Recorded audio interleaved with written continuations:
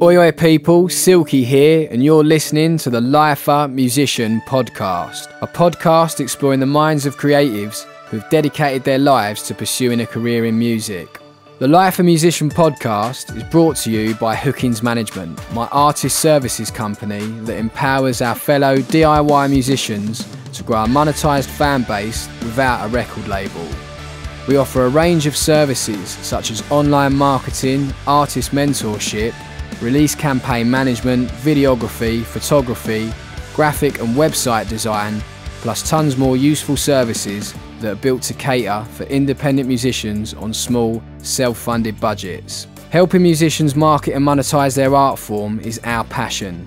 So if you're an artist that needs help taking your career to the next level, please feel free to reach out and get in touch via hookingsmanagement.com where you can book a video call with me for some free advice on your project. On today's episode, I'm joined by my friend and fellow DIY ska musician Jet from the band Buster Shuffle. Buster Shuffle have been one of the hardest working live bands on the circuit since forming back in 2007. They've relentlessly toured around the globe, including shows supporting big names such as Madness, the Mighty Mighty Bosstones, the Interrupters, and Flogging Molly, plus huge festival shows at Slam Dunk in the UK, Punk Rock Bowling in the US, and most recently a massive main stage slot at Punk Rock Holiday in Slovenia. The band have built a loyal fan base, predominantly through grafting out on the road the old school way, but have more recently also adopted some of the modern paid social ad methods to help expand their fan base and drive more income for their DIY artist business. This is an area of which my company Hookings Management have had the pleasure in assisting Buster Shuffle in. So as well as talking about all the highs and lows of the band's impressive 16 year career, we'll also be talking about some of the marketing campaigns behind their recent releases and tours. If you're a DIY musician that wants to know what it takes to sustain a successful touring and merch business in this modern era, then this is the episode for you. So without further ado, let's get into it. Jet Buster Shuffle. Hello. Welcome to the Lifer Musician podcast, my friend. Thanks for coming on. No problem. So you formed a band in East London back in 2007. Um, what were the early days like? Do you think it took a while to build momentum, or did you feel there was a buzz around the band right from the get go? No, it took a long while to get anything going, to be honest, mate. Um, mainly because we didn't know anyone in the music industry, we didn't have any contacts. It was like form a band because we want to play some gigs and that, yeah, get some gigs in some pubs in East London. That was our, that was our thing, and play as much as we can, and see if we can create a break or some magic out of that. Um, yeah, so many years ago in East London, me and Terry, our drummer, and uh, the original guitarist Danny decided that's what we'd do. We'd learn learn some covers of bands that we liked, which are old fifties rock and roll music. That's what we were listening to, and then crossed over with a bit of ska, and went and played shows in in pubs in East London. That was that was how it started. So had you been in bands before that, or was Buster Shuffle your first? Yeah, we'd all sort of done other indie projects, rock projects, um, but we'd sort of hit a point where, as musicians, we were probably doing, I reckon, like seventy-five percent of our gigs were like bookings for doing covers in pubs or doing weddings and corporate stuff, Right. Where the money is Yeah. loads of young musicians go into that because it's easy money. And I think I was in my mid twenties, and I was just like, I've got to stop. I can't just become like a, a wedding fucking piano player Yeah. Um, for the rest of my time. And so, yeah, Bus Shuffle started, like I say, picking rock and roll covers that we wanted to play, the likes of Fats Domino, Little Richard, Chuck Berry, and then mixing it with some ska stuff and just playing in pubs because we wanted to play for ourselves. Um, that was, yeah, that was like how we kicked off. So, like, how long was you gigging around London for before you started um, touring, like beyond London? And like, what were was there like a sort of what was do you feel like there you had a break at some point do you know what i mean where where the momentum started to build and Yeah. you know that led to like the release of the first album and everything what do you think sort of you know was the moment where it stopped uh, it grew from like an amateur sort of unsigned band that was just going around grafting playing in the pubs to like one man and his dog and uh, i guess some nights were busy some nights weren't um, yeah what was the sort of like you know the turning point So I reckon we had two years of just pub gigs, Yeah. playing wherever we could. And we were getting quite a good name though, because we were good sort of laugh and a good party band. So we were getting invited back to really happening boozers in Hackney, like the Dolphin on Mare Street and Lower Clapton Road and Bethnal Green Workingmen's Club, where where there was good nights happening and good mm. crowds that we were entertaining. But for two years, it was just playing these pubs and clubs in East London. And then sort of we created our own break or luck. There was a couple of jour- journalists that saw us that got into the band, liked what we're doing, and then started to name drop us. And one of one of the early ones was in the Sun in the Biz. Do you remember the? Yeah. I don't know if it exists. And Gordon Smart wasn't Gordon it Smart. So Yeah, one of yeah. his crew, a, a girl, a lovely girl called Jenna Good, wrote about us in the Sun. Like out of nowhere, just saying, keep on going to these amazing parties in East London, watching Buster Shuffle, and that was probably the break that sort of made us think, okay, we're we're getting on a you know a few people's radar. Although nothing came of it, we didn't get a big record deal off the band. and then was the first album self-released yeah. So what en- ended up happening was we did that East London thing, and it built up a lot. And our we recorded um, a, a four track demo EP that we'd give out on burnt CDs at the gig, so everyone could walk walk away with a CD, sort of promoting the name of the band. And somehow that got passed on to a uh, A&R guy at Universal, subsidiary of Universal called Fallout Records that signed the Fratellis.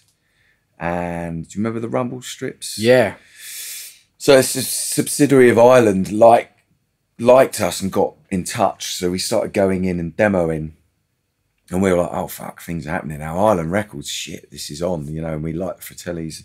And um, we were being demoed and having these meetings and uh, they sort of orchestrate getting a manager and a booking agent. So people started through MySpace reaching out to us, which had never happened, saying, Hi, I manage so and so, and I manage like Matt Claxon's manager, Frank Black from the Pixies, his manager. They're all getting in contact with us, which is incredible. Um, and we're like, and booking agents as well, which, you know, it's really, really hard to get a good booking agent. Um, but then that sort of big Napster phase happened where the music industry overnight sort of died. It seemed to die. And uh, that record label got shut. Everyone got fired, and we were all on our, all on our lonesome with nothing. Um, and so we were getting excited about this buzz, and then we were back on on our asses really. Mm, so you were then sort of forced to do the diy thing and Again, self-release Yeah. we sort of built, did the DIY thing, built it up, and and then we're sort of flirting with the industry, which was all new to us, and uh, then it all fell flat on its face. Um, and the people that we're dealing with, like at Island and stuff, were literally jobless.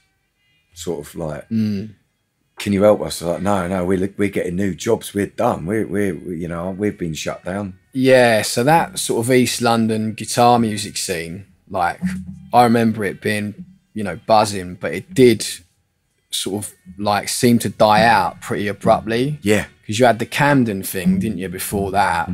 Uh, I mean, Camden's always been huge for like alternative guitar, you know, punk. Um, you know, it's always had a great scene there. But East London was sort of buzzing, wasn't it? Like 06, 07, yeah. 08. Um, but yeah, there was a lot of a lot of changes happening in the music business, and you had that that sort of boom of guitar bands that sort of hit its pinnacle with Arctic Monkeys' first record, I guess. Um, you know that like that it sort of a couple of years after that first Arctic Monkeys record, because I was in a band around this time playing a similar circuit, and it felt like yeah, those opportunities, like because we were being courted by labels and stuff for a while, and I, I, guess what I'm trying to say is, is back then you could go to these gigs and there would be A and R people Industry. about that, yeah. that had messaged on MySpace prior to the show, yeah. asking for guest lists and that. Like the industry were were about. Do you know what I mm-hmm. mean? And um, and then it did all sort of seem to just disappear overnight, didn't it?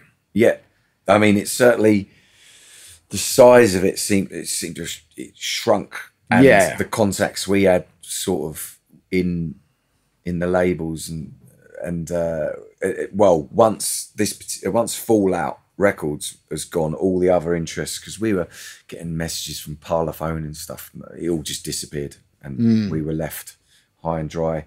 And uh, yeah, and I think this sort of music in East London at that time, all the guitar stuff was really fashionable, and then it goes out of fashion as quickly as it comes in. Yeah, there's bands, really good bands. I remember like a doo wop rock and roll band called Vincent Vincent and the Villains, and they're all over Radio Two and Six Music, and it's like, oh my god, this is gonna happen for these guys. They're doing four part harmonies. Boom, disappeared. Just all these bands signed up, disappearing, signed up, disappearing. So it's pretty savage, and we maybe on hindsight dodged a bullet because I know some bands that did sign deals at the same time as we were sort of looking at it or courting these uh, labels, and uh, yeah, they signed big deals and just nothing. They didn't even get released. Yeah, just like shelved and like yeah, uh, but contractually tied in, so they can't do it. Mm. So get get signed up, get excited. Some of them might even record the album and then be told there's not actually a space to schedule a release. Yeah. And they're like, but we recorded the music again, but there's no time frame because we've got our priority acts here and radio are going to be doing this and press going to be doing that. There's no space for your music to be released. Mm-hmm. So we just shelve it. Mm. And then and actually grinding it out DIY is the, is the better option out of the two, isn't it? Well, that, at least you've got control of your output. Do you know what I mean? And that thing that you've put years and years of work into that's it making amazing gets to see the light of day in some capacity. Um, and through doing it DIY, you you do develop a lot of skills. Do you know what I mean? You become mm. by default you've got to be kind of entrepreneurial, haven't you? And and and learn aspects of the business and stuff to execute that stuff. Um, you know, so so had you had you toured at that point at all? No, just literally. We'd moved from the East London pubs into Camden, you know, the, yeah. the circuit of Barfly and Dublin Castle and all those sort of places. Yeah. We hadn't done anything anywhere.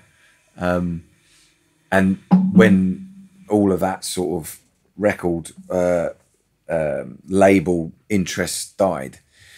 We had an album's worth of stuff that we had been writing and demoing, and um, we were like, "Well, no one's going to put it out for us, so we'll put it out on our on our own." And that's the like, I guess the early sort of yeah stages of, of, of getting our of doing the proper DIY thing on our own. That all said, we put it out through a um, the manager at the time that we had. He had like a dormant record label, um, and he sort of resurrected it for his distribution. Right.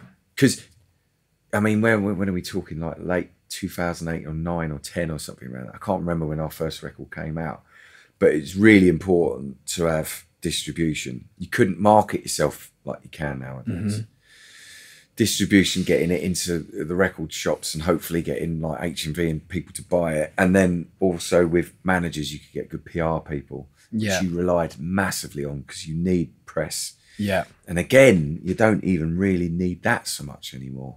But at the time, even though we were DIYing it, we recorded it on our own.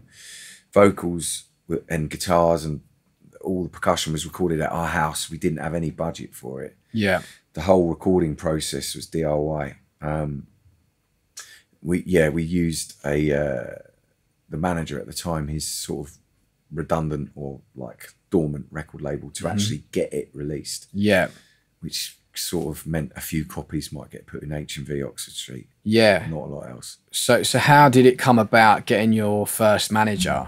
Um, that was through the interest of the record label, right?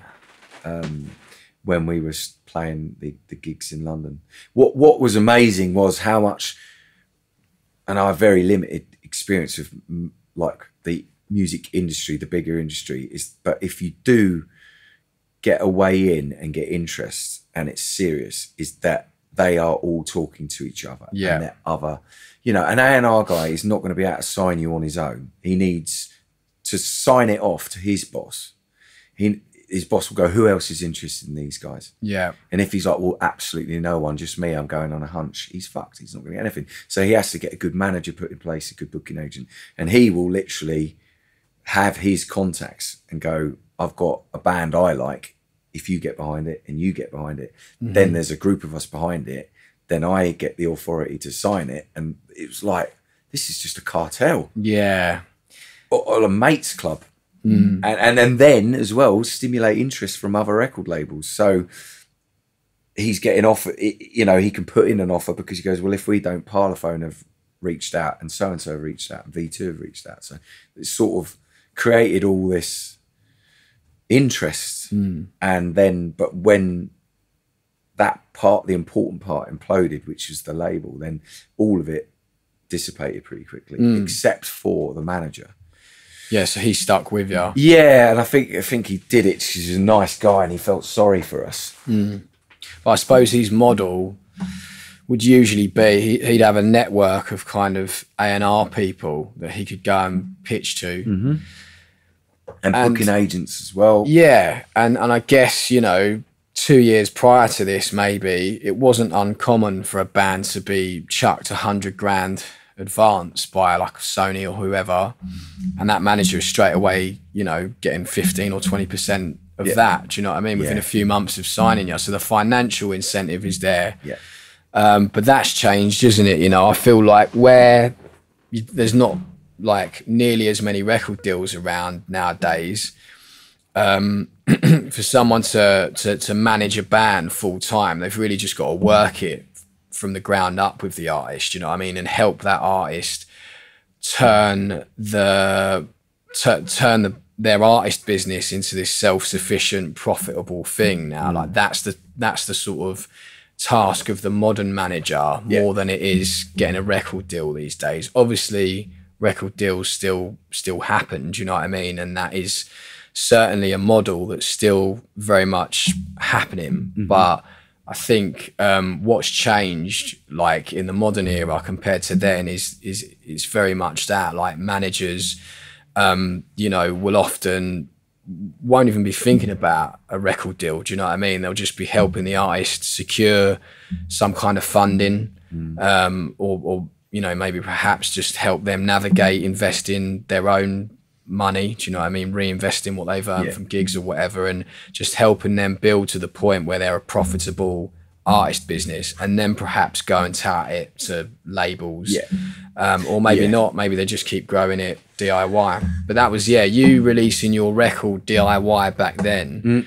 wasn't really like the norm at all, was it? It wasn't. and uh, and it would be it's very easy, all the work and effort and love and you know, uh, care that we put into it just to release it and just go disappear because you can't compete, excuse me, with any of the big boys anyway. You know, you've got no budget to sort of pay pluggers, and, Yeah. and uh, all the you know to get on the radio and things. So, but we were really lucky in that we had we through sort of the gigs in London, we had this amazing press girl who liked us and uh, worked for quite a decent press uh, um, agent. Uh, she was part of a bigger sort of group. Uh, do do our press for this DIY record, and she pulled some really big bits out of like out of nowhere, um, uncut, which is sort of a reputable yeah. mag four, four out of five star uncut review. She got us in quite a few newspapers. Guardian supported it, didn't they? Guardian got Yeah. behind it, or he kind of said it was all right if you, yeah, Guardian. It was yeah, but we were at the end of the day. It's sort of it's a weird thing back then as well. It was like doesn't matter if they're calling you if they're saying it's shit. It's just to get them to talk about you. Yeah. And even the point used to think like, I remember chatting, going, "Do you think the NME will acknowledge what we're doing?" And the guitarist going, "It doesn't. Even if they don't, and they call us like saying it's just pub shit. Yeah. What a load of old bollocks. The fact that they're slagging us off is a good thing. Yeah. And I, I'm so glad the industry's not like that. That you don't, I don't give a, f- no one fucking cares what those Yeah. It was dicks pretty- write or think. They never mentioned our name once. Yeah. but that was our thinking. It's like even if they're gonna t- like slag us off, it's great they're talking about us. But anyway, I'll digress a bit. The press girl did get us some good, juicy bits of press that sort of put got us out there a bit. Um, it didn't sell loads of records or anything, but it was part of the sort of the game getting press. We got a bit of Radio Two, Steve Lamacq, and a few spot plays.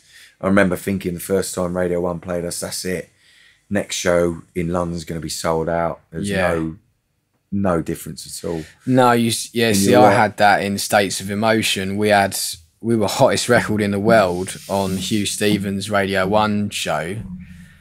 It didn't really make a blind bit of difference to like ticket sales or anything like that. I think that um, what I've sort of learned from um, using services like that for both Death of Guitar Pop, we tried that sort of in the early days of Deaf Guitar Pop, and we tried it quite a bit in my old band.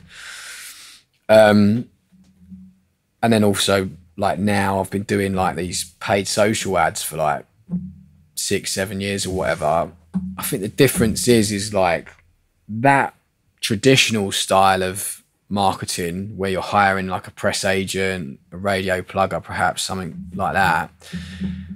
What that gives you is like as a DIY musician who's on a budget paying for those services, not being able to bankroll necessarily like a year's worth of like radio plugin, like at, at the top tier. Do you know what I mean? Expensive. It's very expensive, and and I think if DIY musicians are, um, you know, spending a few grand on those services, what they're getting from that is actually content. Do you know what I mean? Like, um, and, and as you say, like back then, like getting the Guardian and Uncut and spot plays from Lamacq, it, it kind of just like what it does is it puts authority on like your brand as an artist, Yeah. and validates what you're doing. Yeah. So the people that are interested or half interested are like, fucking hell, yeah, this is happening. Do you know what I mean? And and so it kind of like um, you know, it, it, it reaffirms um, or further validates that thing you've got with your audience and the people that are like interested in what you're doing.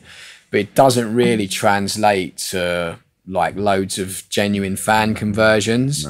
Um, so I've started to view that that that whole thing. I've only really just like figured that out after all these years. Do you know what I mean? Because mm. as soon as paid social ads were working for me, and you're literally seeing like someone's seen an ad that day and then they're buying a CD, it's like fuck. That is like that person's stopped scrolling.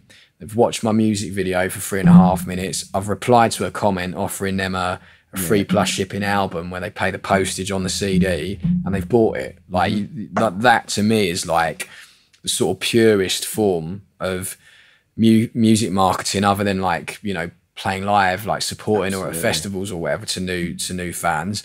Um and I, and it, and it kind of like I was already a bit cynical towards traditional like press and radios and that from my experience with my old band where we had paid out we'd had some results of it but didn't really see the fan conversion.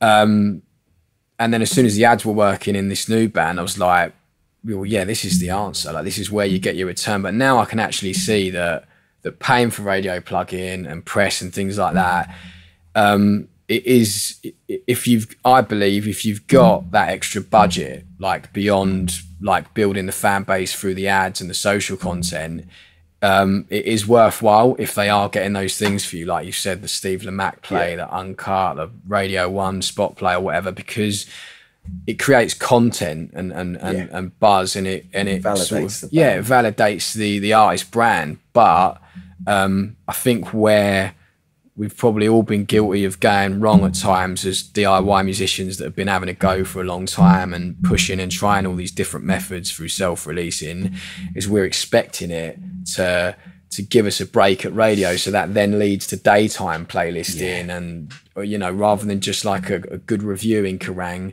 you know you you progress from that and you end up having like a feature or a front cover or something like that and I think when you're on a I think th- those things are quite competitive anyway, even even at the top level for artists that have got the big machine behind them financially and network wise. Um, but for DIY musicians that have just you know doing a couple of grand here and there across an album campaign, um, yeah, mm-hmm. you, Your money will burn quickly. it, yeah, it's a very hard. It's very hard to financially sustain that, and it's very disappointing when you realise Yeah. it doesn't kind of like you know give you that break as an artist and, and bring in all those new fans. Because I know bands that have paid thousands for press, you know, and radio for albums and singles, and they don't get anything. Mm.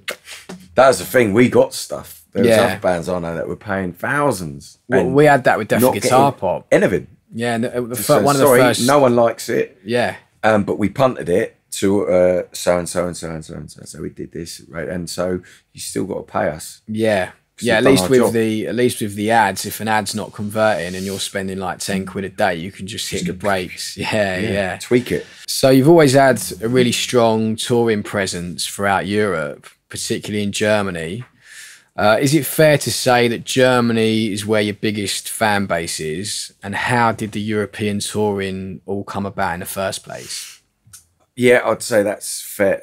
Fair to say that that's probably our biggest market, um, and that came about because when, well, I'm not entirely sure how that came about, but when we eventually put out our DIY album that we recorded, um, first time round through our old manager, the album came out. We got some good press, and we were like, right, let's go because we had a booking agent book us some fucking gigs. We're ready.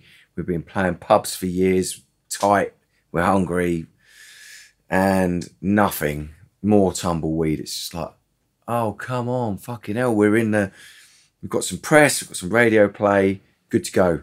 And the booking agent at the time, I won't say who it was, but it was a classic sort of like you know booking really well-known established bands that you would think they could then sort of get you in on the, on the coattails of these bigger bands.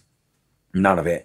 And they were literally going like a whole summer come, came and went. And we're like, we haven't had, I think we had one festival offer, which we played in the, the VIP bar to the punters. It, we weren't even on a stage at a festival. It was just like we were the background music. It was like, that was our summer's uh, at festivals. But they said, we keep on getting an offer for a couple of shows in East Germany uh, from some German band we've never heard of. And that was sort of our sort of like, okay, well, we've got nothing in England.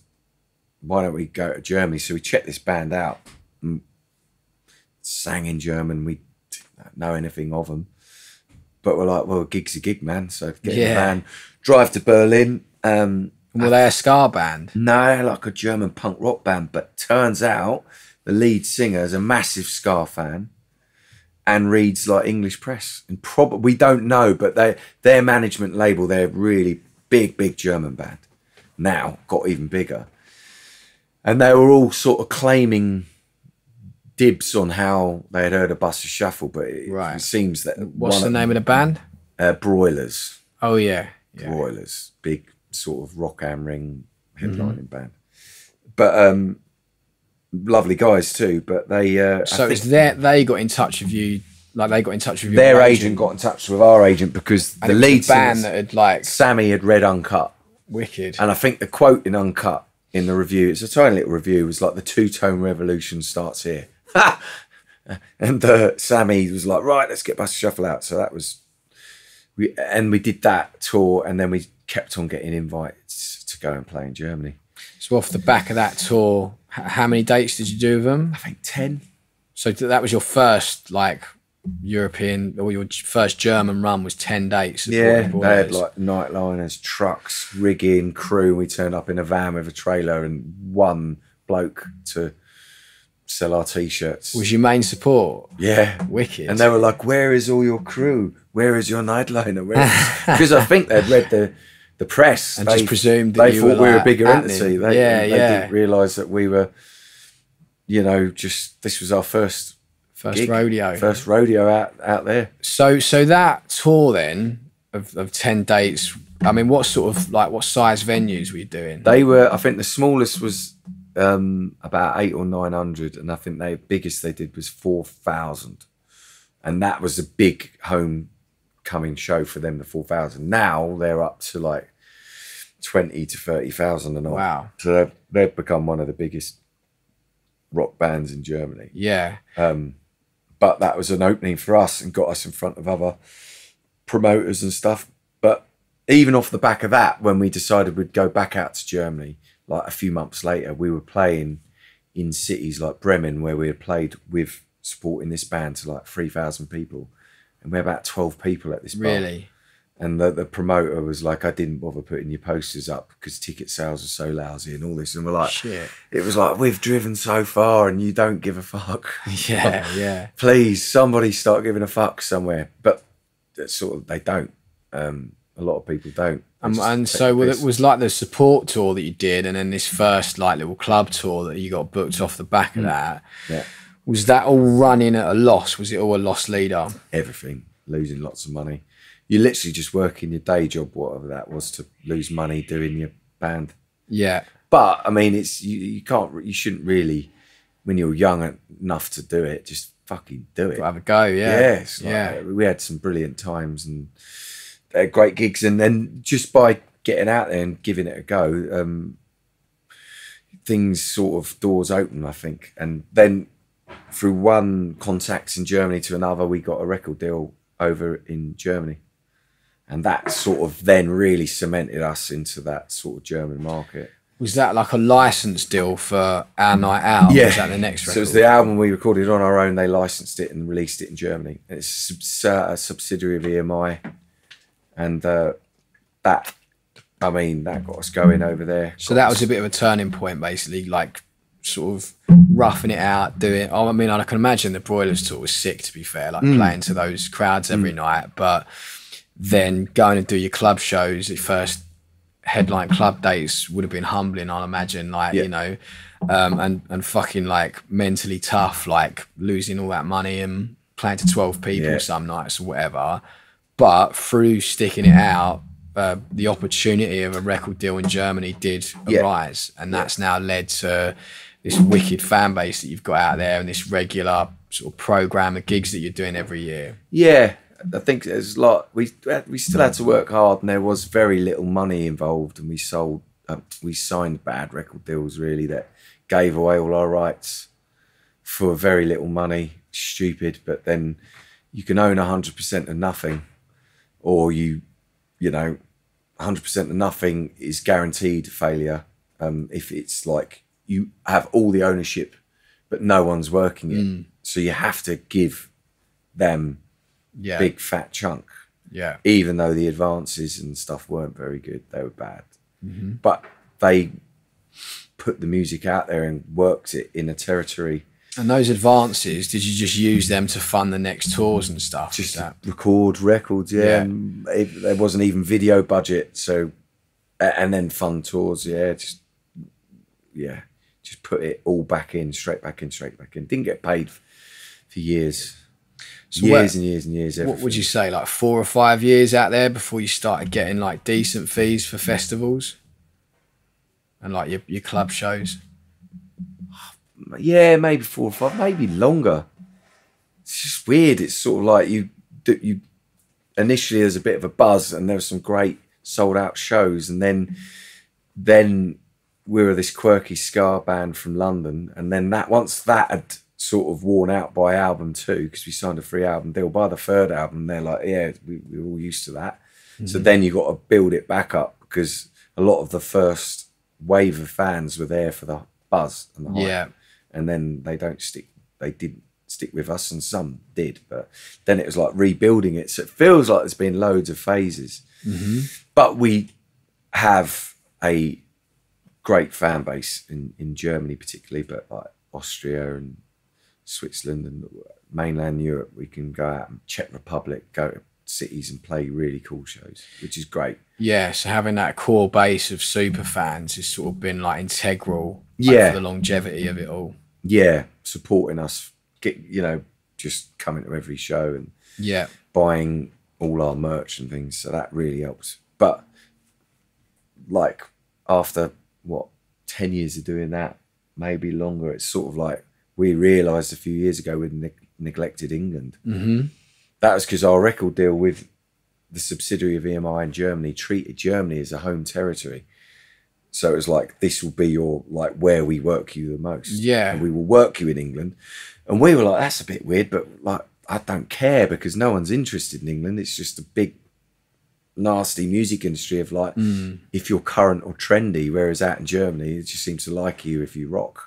Yeah, give it yeah. some give it some welly and they'll be into it. So and I suppose like you know them romanticizing a bit about our like pop culture, our our kind of subcultures like two tone and that is what what got you your ticket out there. Do you know what I mean? And and why they've always perhaps appreciated it um, a bit more. Um, so so the band's currently self managed and self releasing.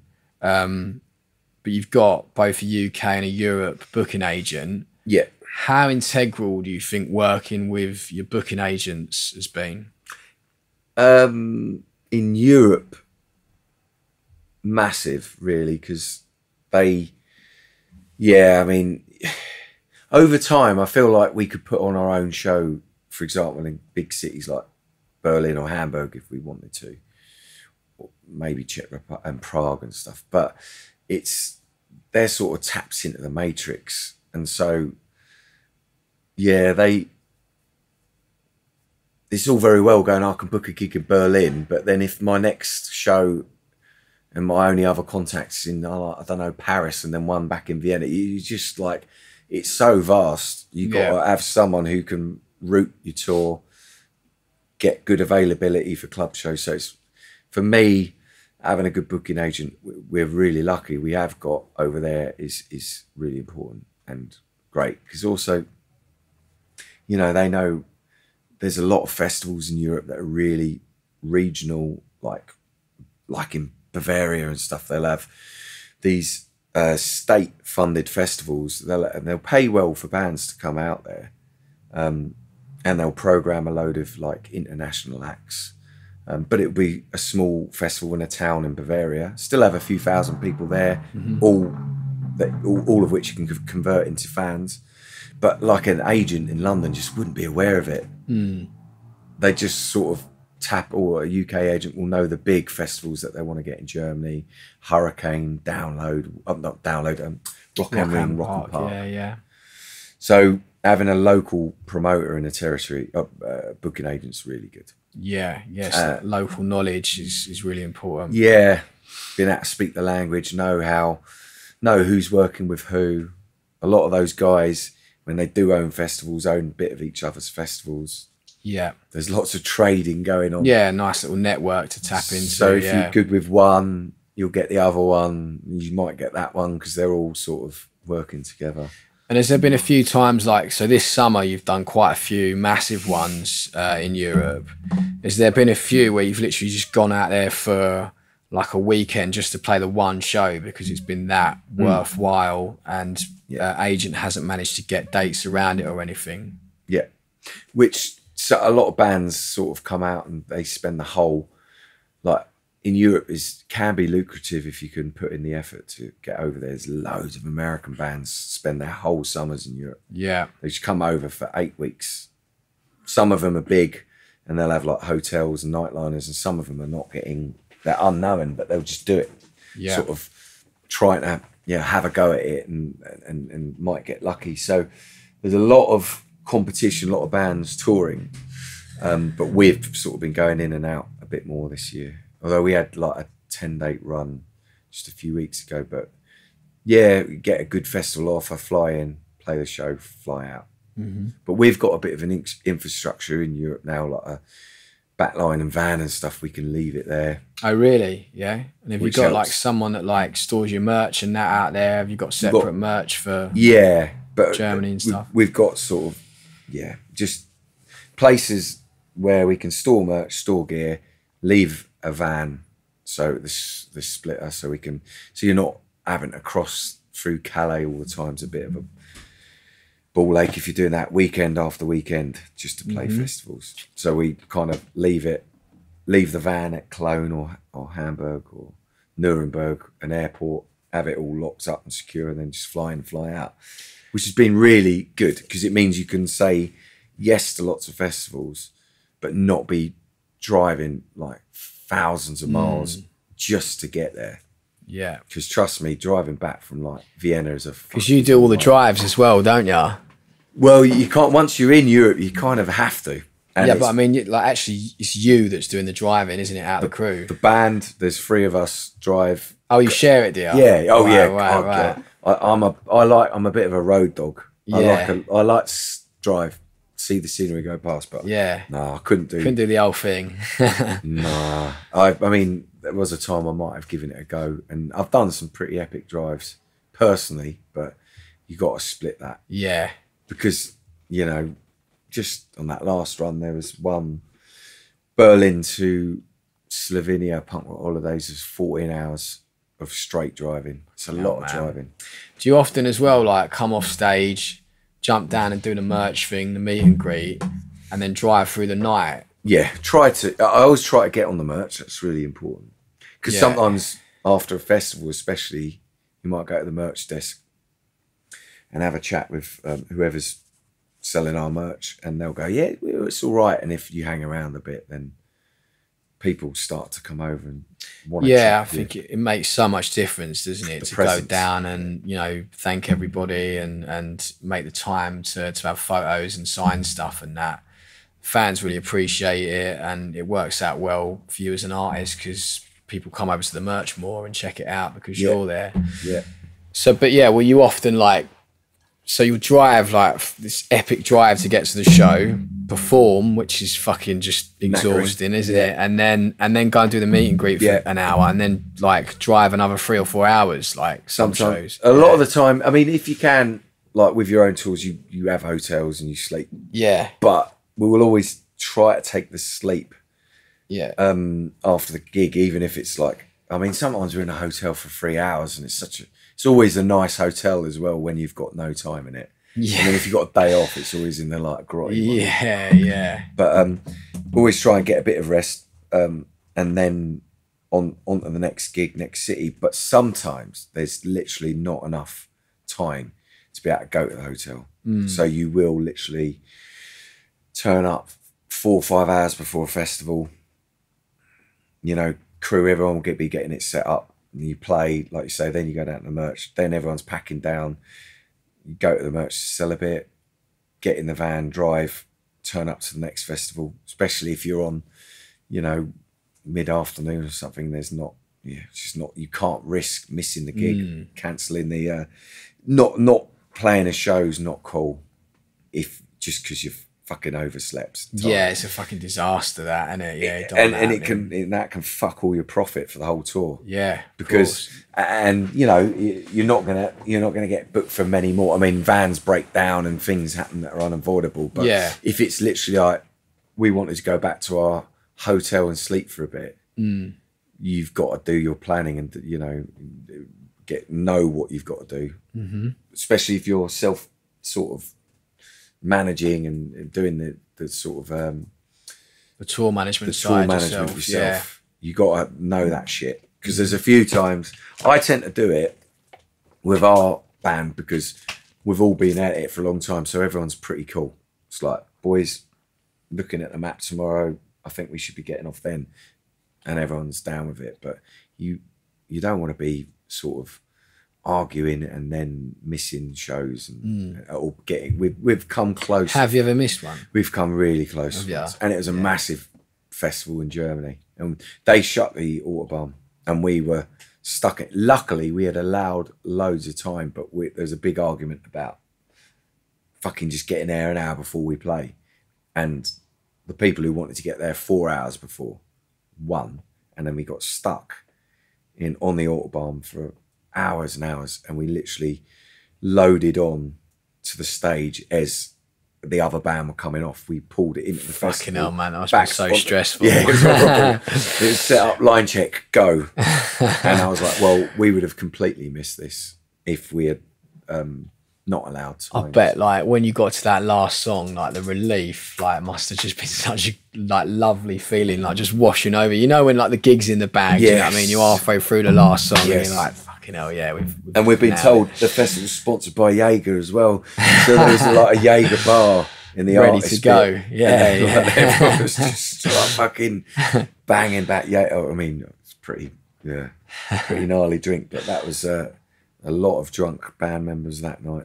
Oi, oi, people, Silky here. I hope you're enjoying the episode. I just wanted to take a short break to tell you about a fantastic mastering service I recently used for my band Death of Guitar Pop's forthcoming album, Be Lucky. Jake from Decent Mastering was a joy to work with from start to finish, and we're so happy with how the final masters of our songs are sounding. Jake is currently offering an incredibly fair pay what you want mastering service to all independent musicians. So if you're an unsigned artist that's on a budget, be sure to hit up Jake for a great service at an affordable rate. Check out decentmastering.com for more info. Now, let's get back to the podcast. Throughout your career, you've you've worked with a few different indie labels and distributors. Um, but for your most recent album release, Go Steady, you decided to self release through a crowdfunding campaign. Yep. How would you say is that compared to working with a record label? Like, what are the pros and cons of that? Um, it's for me. It's been great. It's been a real eye opener. Obviously, I mean, I reached out to you.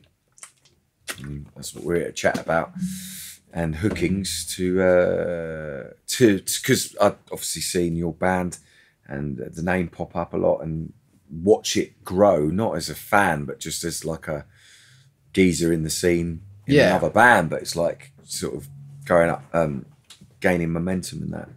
So I reached out to you um, with our last record just to see if there's you know something we could do. And yeah, we crowdfunded it. Used your sort of uh, well, what you're offering, Hooking's guidance and sort of expertise, and threw in our own things as well. And personally speaking, very like it's been great. It's like we sold more pre-sale than we have with any of our other uh, releases when we were signed to good labels, um, even though they're small labels, but we did more pre-sale. I think our overall sales were bigger than we've ever had. Um, you know, you could argue that last record we put out was coming out of lockdown, and lots of people might have been in the mindset of buying shit because they hadn't been able to do anything or go anywhere. They're just like fucking buy, buy, you know, pre-order the album Yeah. It's nice to have the control. Um, so yeah, I mean, really, it's it's a new way of thinking for me because I come from the time when we it was sort of all the things we've discussed. It's like you're capping hand to the fucking A and R guy, or capping hand to the booking agent, or capping hand to the PR person. Please get me on the the plugger, get me on the radio, and and actually now there is a uh, a way to reach people and you can do it yourself is fucking liberating really. And yeah I, I mean i'm i'm really i'm, I'm probably co- converted now. I, I think i'm converted. I think that is the modern way now, though. Do you know what I mean? I feel like um, a few years ago when these ads were first working for me, and then I started helping other bands implement the same methods um, for their artist career. I was sort of wondering: is this gonna is this a bubble that's gonna burst, like MySpace, for instance? Yes. MySpace was awesome. Do you know what I mean? That was sort of the original version of this, Yeah, and yeah. it did it took the power away from the gatekeepers for the first time. Do you know what I mean? There was this route where you could like put your music out there, um, DIY, and there was a network of gen a social network of like genuine, genuine organic music fans there wanting to discover new music. Um, but yeah, obviously it disappeared like you know overnight almost. Um, and I was when, when I was first doing this as a business and everything, that was one of my initial fears starting up. Like, what if the fucking Facebook ads manager just goes to shit? Do you know what I mean? Or if it stops working, or if that social platform stops and that. But I just think you know the well, one I don't think the you know the the the the, the main platforms like the the meta owned ones and YouTube and that they're not going anywhere. But I actually just think the fundamentals of you know modern marketing like you know that they're they're set in stone now. Do you know what i mean? And yeah. I think that like as as um i think more and more artists will become entrepreneurs like mark marketers as a result do you know what i mean because you kind of have to like learn so much of this stuff whether you want a record deal or not do you know what i mean like you still if you look at a band like Sleaford Mods, for example, that are signed to uh, Rough Trade, mm. They built a huge thing DIY first yeah. with their manager. Yeah. Like their manager, have you seen a documentary? No. A Bunch of Kunst, it's called. It's fucking great. Um, he was got this little boutique label, um, his gaff in um, Nottingham, I think, and and he's literally like they're filming his lounge, and there's just stacks of vinyl that he's that he's shipping out, like. Mm um, you know, and they were doing your rock cities and similar sized venues all around the UK before they they signed with Rough yeah, Trade, nice. and that they're kind of like a prime example of like you still. And Idles is another one. Do you know? what I mean, I think they sold like over ten thousand copies of Brutalism um, before they signed to Partisan Records. You know, mm-hmm that is becoming pretty commonplace now. Yeah. Do you know what I mean? Bands, I and they, they were a business, like whether they kind of set out to be a business or not, um, they built a really successful business before they then jumped into bed with the labels that then helped them take it to the next level. Um, but yeah, I think whether you're whether you're like sort of just fucking DIY till I die mentality, don't want to sign to a label, or you like the idea of yeah. signing to um, you know, one of those great record labels like a Rough Trade or someone like that. Either way, you've got to you've got to roll up your sleeves and and graft it and hustle. Do you know what I mean? And uh, I, I think to even get the interest, I mean, I'm out of touch, but of any decent established label, they probably need to see that you've done X amount on your own and that you've yeah. got the fucking desire. They're not going to throw money at you if they think you're not serious about it. Yeah. Not unless you well, they can't take the risks anymore, no. can they? And not unless you're like a surefire fucking 360 deal bet where, you know, your your uncle's the head of A and R or something like that, where yeah. it's like a that like family nepotism. Yeah, that's rife throughout the industry. I've got so and so. My dad's in that band, or you know, that's that shit. It's always gonna carry some acts on. But if they're throwing big money at you, they need to know that you've you know put in the groundwork and that you're serious about it. And mm. bands that have sold ten thousand units off their back, off their own back, are, are, serious entities, aren't they? Yeah, absolutely, man. And I, I just think that that's that's the modern way now. It's it's learning how to market yourself on social media and mm. book your own tours and everything. I mean, that's the booking your own tours thing has always been a bit of a thing anyway. But obviously, social media really helps you know, is, is kind of the engine behind those ticket mm. sales. Um, the, the thing for me, just to like, we spent that really sort of like changed my mind or made me sort of have an awakening or what was needed was like, we've got like 20,000 legitimate followers on Facebook. We've been building since Facebook band sort of pages became a thing. And they're like, that's crisscrossing all over the world Europe, America, fans in England, gigging our asses off. We're posting like tour information or information about a new seven inch and not reaching anyone. And then it was that chat, I think, with you, or uh, it's a chat we've definitely had of like, Facebook and Instagram now you have to pay them to access your own fans. So all those fans are legit. And that's when, as a dinosaur, me being the dinosaur, I realised, fuck, this this has shifted a lot now. Yeah, you have to. So these paid ads, I was like, oh god, I don't want to fucking. People are gonna get really pissed off seeing our our mugs in their feed and stuff. But you actually to access your own fan base have to pay these yeah. companies. Yeah. Now I don't really like that, and whether anyone else likes it or not, doesn't matter because that's the fucking game. Mm. So you've got to pay Facebook to reach your own fan base.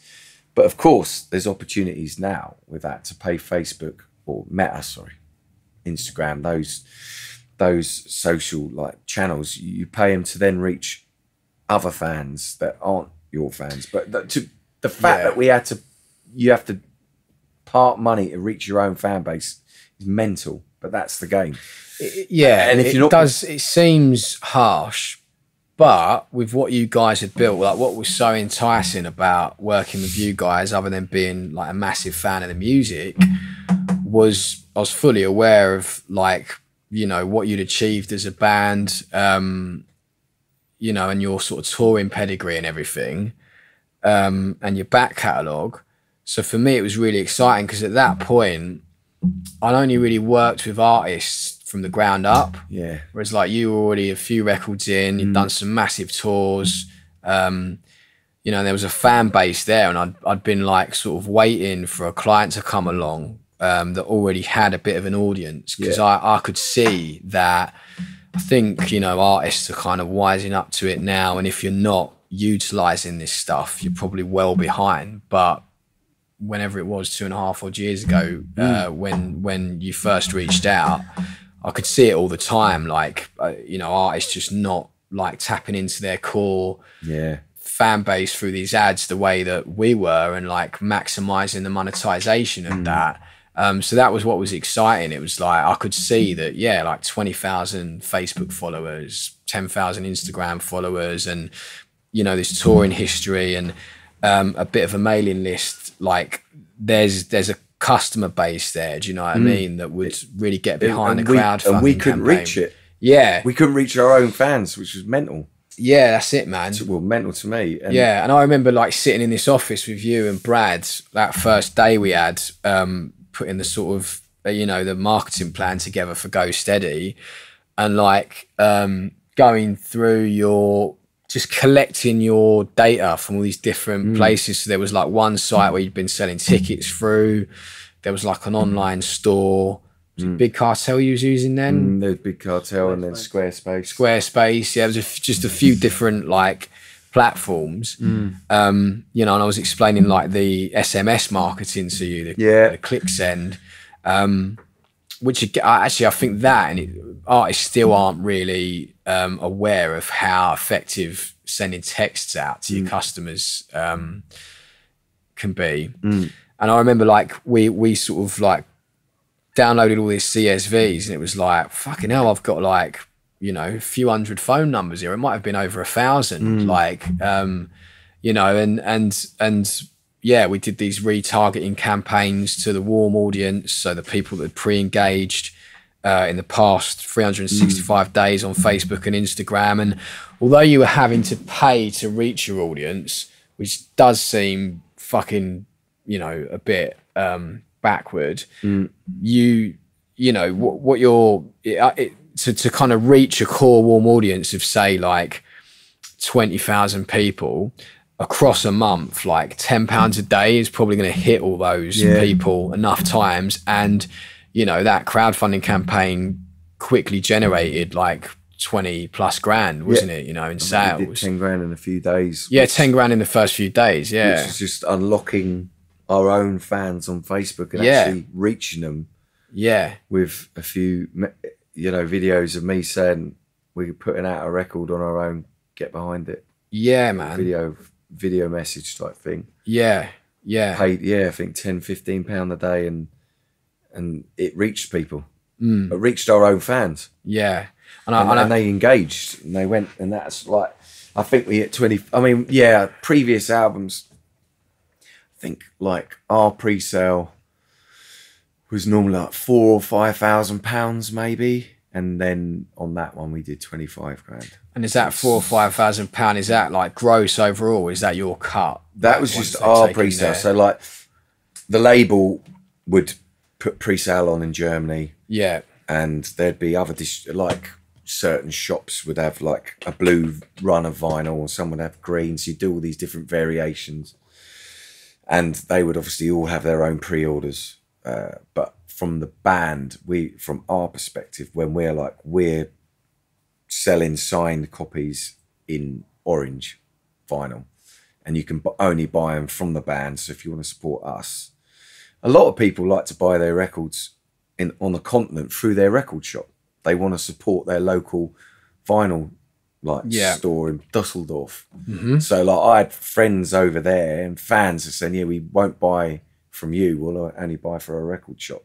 That's why it's important to have distribution and stuff in Europe to Yeah. to reach those people.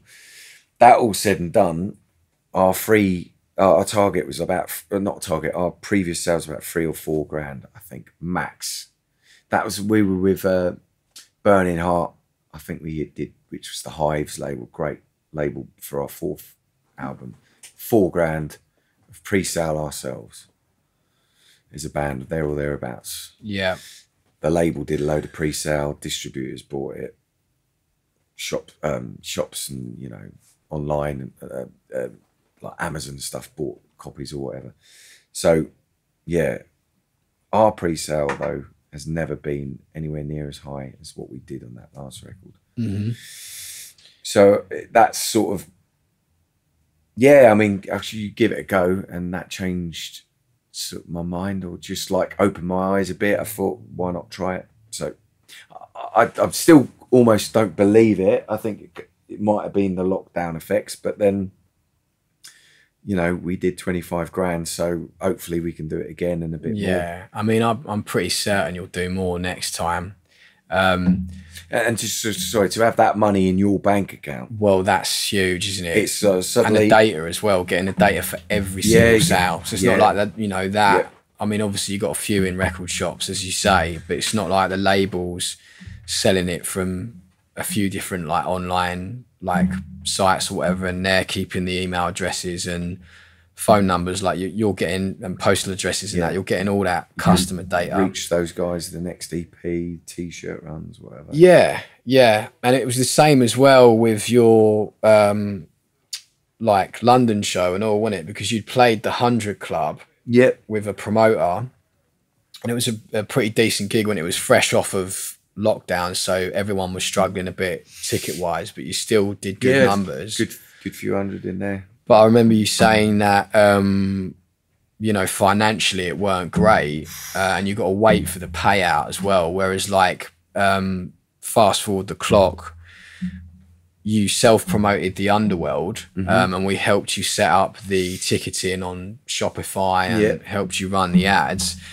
And like with what you've just mentioned with the album campaign, the great thing about that is, is you're getting um, you're getting all the ticket money in like real time. Do you know what I mean? Um, It's absolutely and all the reporting in real time. Do you know what I mean? You've literally got an app on your phone, and you know you can check how many tickets you've sold, twenty four seven, and any ticket that gets sold. Apart from like the venue will want to take a small allocation with whoever they've got Yeah. to deal with. The bulk of the tickets are going through your channels. And the money's in your account, Yeah, so it which helps. means that then when you get an offer to go to America, you're like, oh fuck, we haven't got three and a half grand for visas. It's like, well, we have because we've done that in pre-sale, yeah, rather yeah, than some promoter just sitting on it yeah, exactly. And then having to chase weeks after you've actually played the gig. and rolling in all these bullshit costs as well, like 120 quid for towels and yeah, fucking whatever. it- yeah, it, it just like looking at that. There's, there's like you you haven't spent two thousand quid on promotion yeah, because you didn't promote it. yeah, You're not actually doing your job as a promoter. Promoters don't promote. Some Yeah. do. yeah. Good ones do. But I mean, creating an event on Facebook is not promotion. No, And I like, like, no, but like that's like we created an event and we invited some people, forty six friends down, and it's like, yeah, but you're you're taking like over fifty percent of the takings through a Facebook event. You haven't even done any. You haven't even printed any posters, which is old school. I know people don't really print posters anymore. I think venue posters are still important though. Yeah, venue posters like flyering in towns and stuff. I mean, it can be useful, but I mean, when they do nothing and then just take, you look at the ticket sales. If go, they're okay. not spending, in my opinion, like there should be a budget for like four or five quid per head Absolutely. on Facebook and Instagram marketing spend. Uh, it's amazing that like they won't, and in, in in Europe as well. I don't. I just think they're like don't want to know any of that Hmm. at all. I mean, Stuck in those like traditional. yeah, they're like I'm the promoter in Hamburg, and I've put posters in all the music bars, and I've created a Facebook event. And, and that's the thing. I bet a lot of them do still do good numbers, but man, if they did like four or five quid per Oh, yeah. head in like yeah Instagram and Facebook spend, I would really, really, missing love. a trick. I think. oh, I'd love all of them to, like on this tour we've got next year. If they all chucked in a couple of hundred euro, which per venue is not Yeah. a lot, to get a few grand there to do like proper ads. Mm-hmm. The the difference they would like collectively get across the across the whole run, I just think it'd be a massive step up. Definitely, man. but I think, to be honest, that's something now we'll probably do. Make sure we reach the reach the the fans, and then uh, just take it on the chin ourselves. Mm. like, well, But that again, that's why you're going to have more and more artists. Like artists will become promoters as well as labels and agents and stuff because artists are wising up to this shit yeah, and realizing like, well, like we can build this fan base through the paid ads ourselves. We can book the venue. We can sell the tickets on Shopify.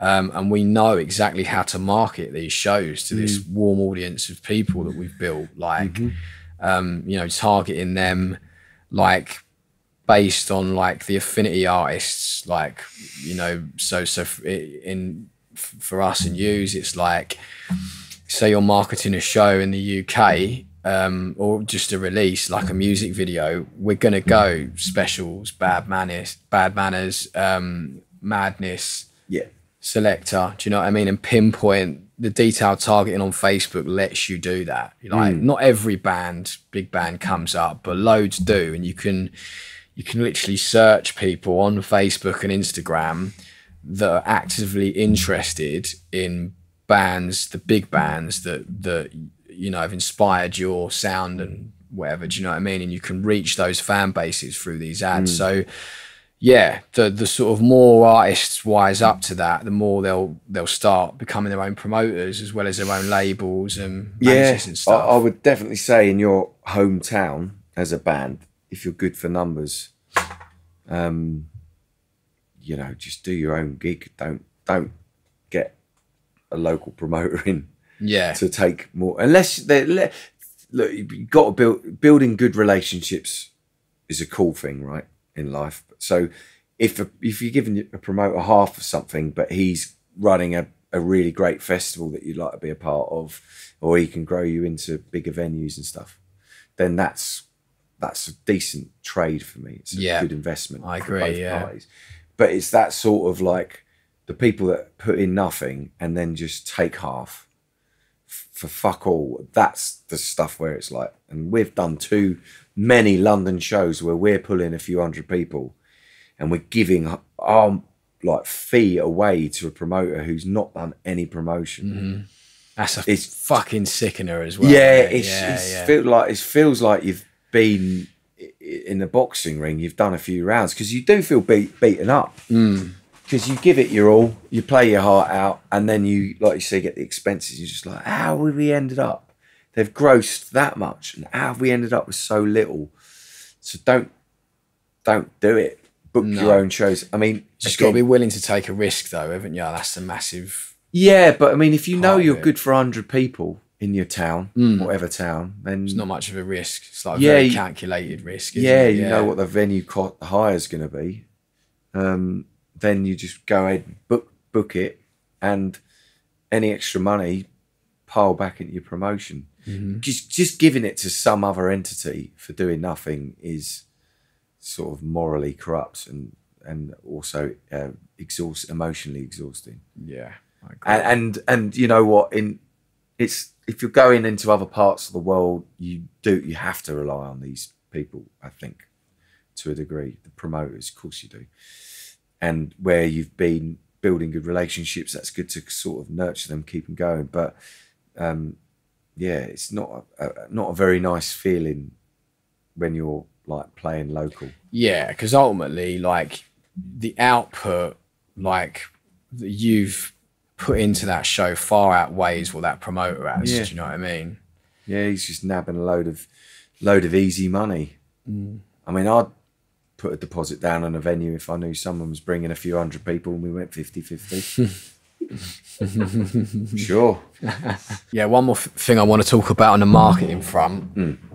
So we spoke about sort of activating your pre-engaged followers Yeah. um, with retargeting ads, but what we haven't spoke about yet is you mentioned earlier that um, you sort of felt as though you'd neglected the UK potential audience in the UK a bit.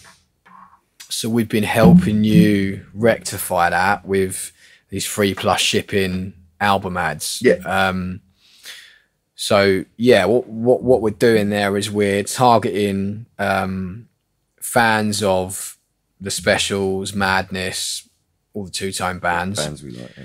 with uh, music video yeah. um, for Our Night Out, which was um, one of your first singles, wasn't it? We re um, we, we made a new music video for it. Then Yeah, we we kind of modernised the it, aesthetic. Yeah. Um, and yeah, we've been targeting that music video to to those fans, um, to the fan bases of those bands online, and then retargeting them with another ad that advertises a, a free signed CD copy of the album.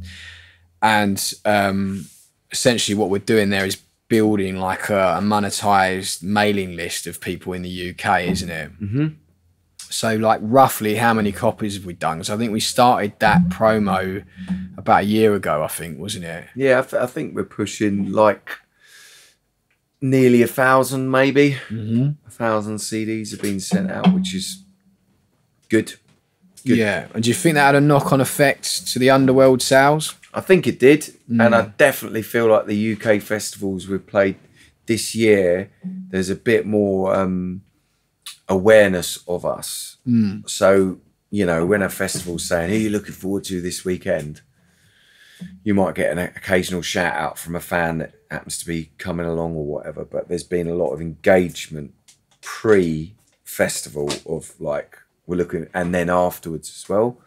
I mean, maybe it's a combination of I don't know playing well as a band, but it, the, the sort of presence and engagement of, um, you know, because we're, I guess, uh, recruiting or actively seeking these fans that we think would like our music. They're sort of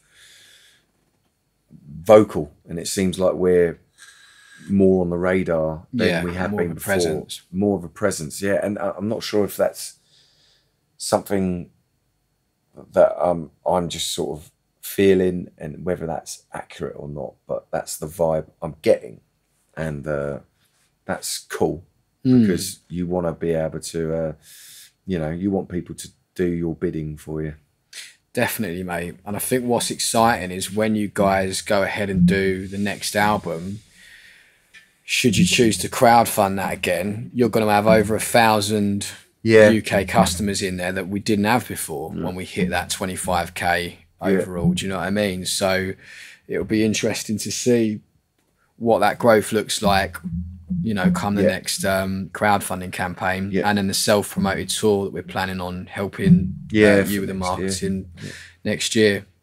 Cool, man. So, what has been the highlight of your music career? Oh god. Um, there's so many. I think. I think probably the first um, playing a House of Fun weekend of a Madness is pretty big for us because we're big Madness fans. Playing uh, ten shows at the O- O2 Indigo with Chas and Dave was mega. Although at the time we didn't, we were, we were still quite young and didn't realise how lucky we were to be doing those gigs with Chas and Dave, who were just absolute legends. Were they really nice blokes? Super duper. Chas was a real gentleman and, and fellow sort of piano player, so I really loved chatting with him. And he gave me a lot of time. Uh, so they're, they're really magic. That, yeah, that we did t- 10 shows I think at the Indigo with them. But over each Christmas they did like three and then another three. So over a period of years, three or four years, we did a load of shows with them. Uh, Madness, and then playing the first festival in America was good. Punk rock bowling in Las Vegas was great. Playing the Fillmore in San Francisco, the Mighty Bosstones. So there's a few things that really stand out. I guess those sort of the bits that tap into being a kid. Your kids sort of when you're a teenager and learning to play, listening to Madness or the Mighty Bosstones, Mm. and then when you actually get to share a stage with those people, Yeah, or and play like the Fillmore Theatre in San Francisco, yeah, where it's iconic, isn't it? it's iconic. You're- You're just like fuck, you know, or, or even like the Kentish Town, Brixton Academy. The first time you play Brixton Academy, Yeah. you're like fucking. How many gigs have I seen here? Who, who was that with? That was the Fireball tour, um, which was sort of a uh, an all day thing that was at Brixton with less than Jake Goldfinger, so a load of American bands. Wicked. Um, And that story you told me about Dickie from the Bosstones, Yeah. the Harrington jacket. Can you just tell that? I think that's a weird yeah, it was- I think we were in um, Sacramento and we're, we were all tired and jet lagged and arriving at this venue and setting gear up or taking gear backstage and whatever. And then our merch girl come running up and says, "Yeah, we've already sold Harrington." And I was like, "Really?" Doors weren't even open. She said, "Yeah, that bloke over there just come over and bought one and tipped me really well." and I was like, "Fucking hell, that's Dickie Barrett. It's the singer from the Bosstones." She's like, "Oh, she didn't know." And uh, yeah, he was the first one in the queue. Bought a Harrington, wore it the whole tour. what a fucking legend. He was a legend. Unfortunately, that tour for us got cut a little bit short. We only did about five dates with him, but he was a super geezer and uh, really supportive of new bands, and bringing nurturing on, nurturing the talent. Um, yeah, that was that was great. And uh, yeah, we did a, we did about five West Coast uh, dates with them. That was uh, a nice thing to have done. I'm trying to think of any other. I think whenever you get invited to a, a, a festival that you've heard of as well, that's nice in Europe, like punk rock. You mentioned it early, punk rock holidays in Slovenia.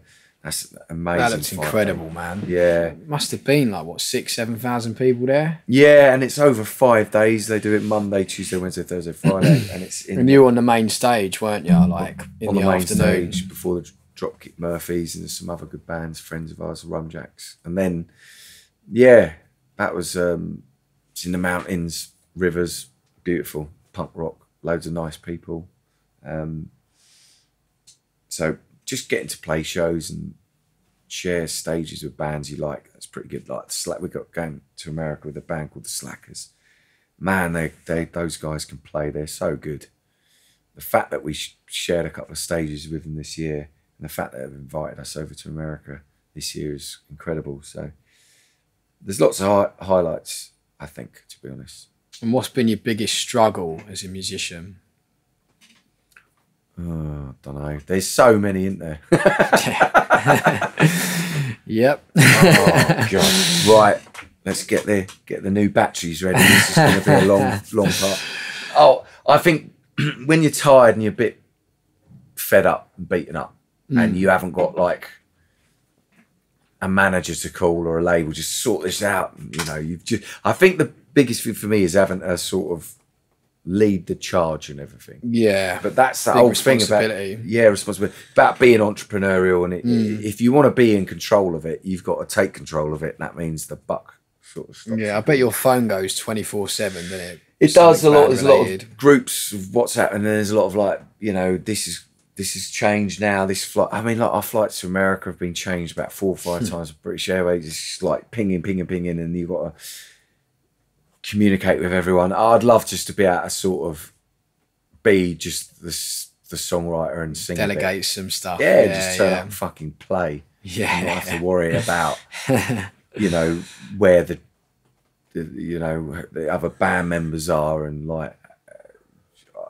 yeah, is the backdrop too big for the stage? Yes. And it's like your backdrop's too big. Have you got another backdrop? Well, where's where's the like where's our crew? And it's like, well, they've gone for a fag or something. Like, oh. We had that at Little Electric ch- Ballroom. Our, our first ever backdrop, we were buzzing, and Johnny and I weren't there at the time. We were down the road doing something in the Camden Dingwalls. Um, but yeah, I mean, mate Rishi, who was kind of like helping manage the night, sent me a video of the the banner going up for the first time, and like everyone's like buzzing their tits off, and uh, it was just like fucking. I don't even think it would have. I think it would have been too big for Wembley Arena.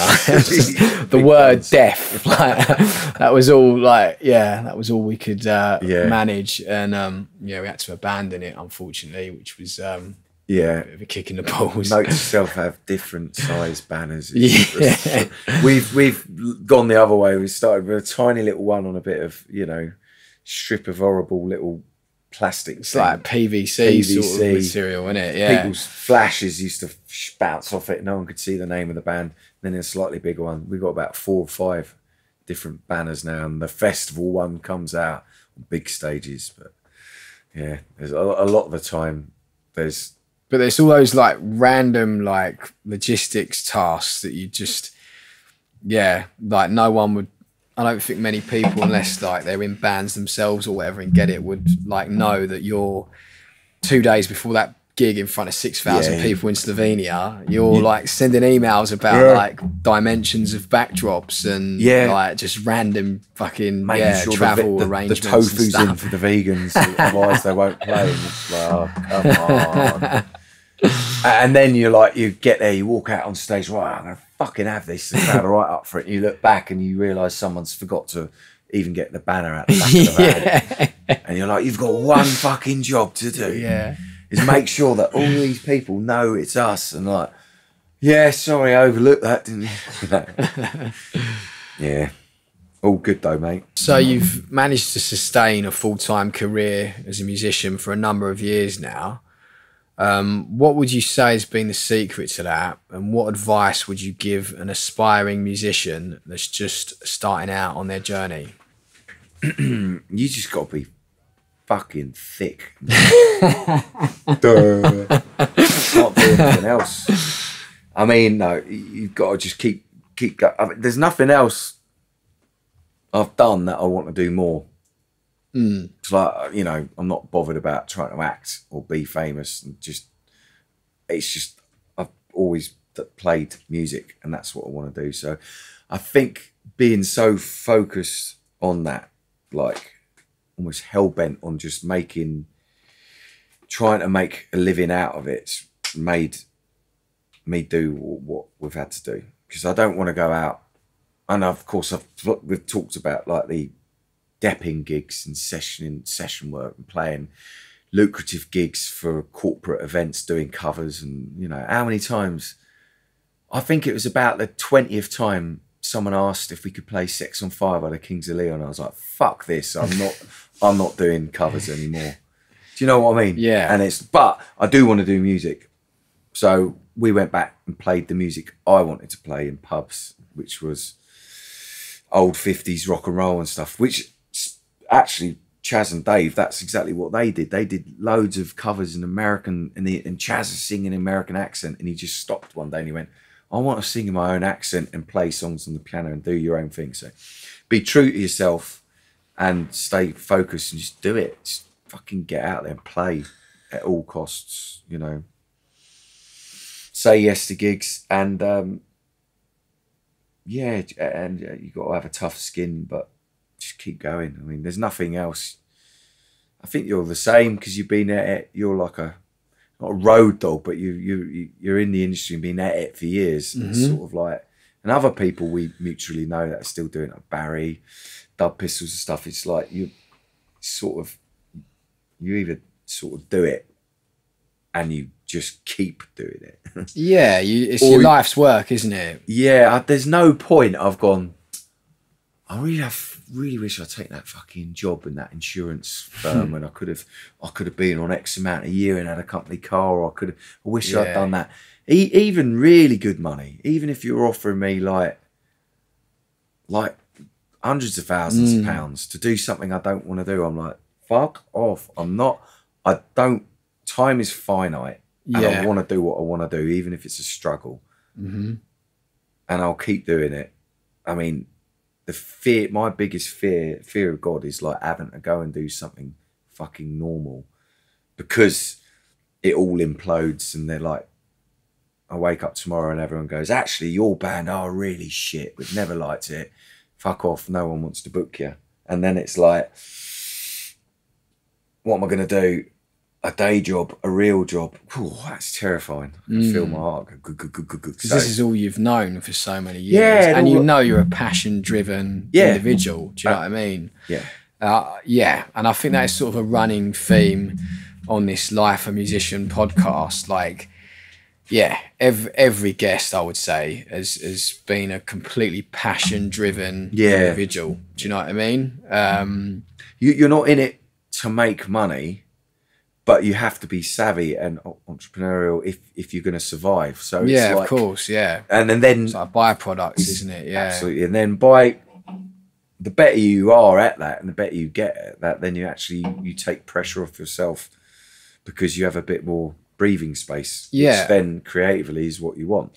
And also, So it's like it's- you take huge pride in that, don't you? When you when you can earn a few quid from your original art, do you know what I mean? Yeah. Your shows and that, like, and just doing it DIY as well, where you haven't had that big machine and network of people like really pushing it for I you. think sometimes you, sh- you, sh- you should try and take a bit more pride in it, but I find that hard personally because I'm always like looking at the next thing. But I, the good Yeah. thing, my my long suffering wife has like been there from the pub days, and she's like she's occasionally at festivals. It was just stop, look, look at this, enjoy it. Like, Mm. or I'm getting stressed because the American visa's not coming through.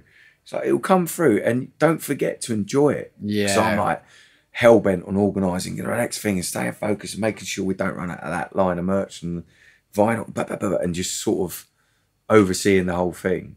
You do have to fucking stop and enjoy it. yeah, But that's a a preset because I've been doing it for so long that it's just in you to sort of go, boom, what about this? What about that? What about this? What about that? And uh, I don't know, yeah, you just it's hard balance to strike, but I don't want to do there's nothing else I've wanted to do. So it's sort of made my mind up for me.